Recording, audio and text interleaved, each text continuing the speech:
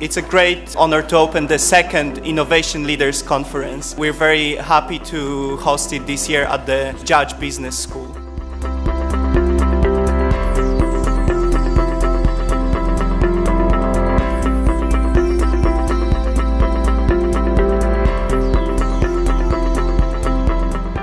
Life sciences industry over the next 20 years is probably going to be the most exciting place of any sector you could choose. Having a collaborative way of working is going to be absolutely critical for the future in any company, in any walk of life.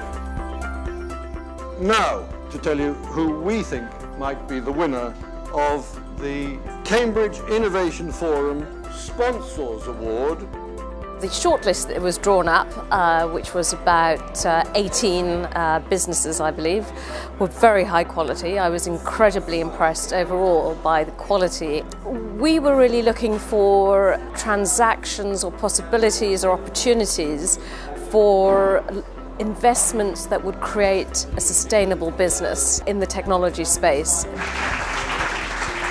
The event has been fantastic. It's the first time I've been here, and for me, in my role, I see a lot of um, more established companies, biotech companies. So to come here and see innovation really in its infancy with young people who are really vibrant and enthusiastic, it's been an absolutely fantastic opportunity to see innovation happening on the ground. I, I was blown away. I, am so impressed that there are so many good uh, companies now.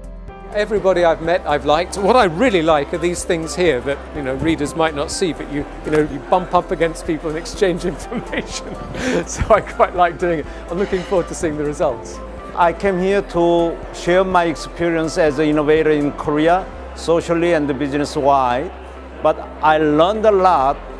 I think uh, I have to bring all this good idea at Cambridge to Korea and China, where we are holding Innovation Forum every year.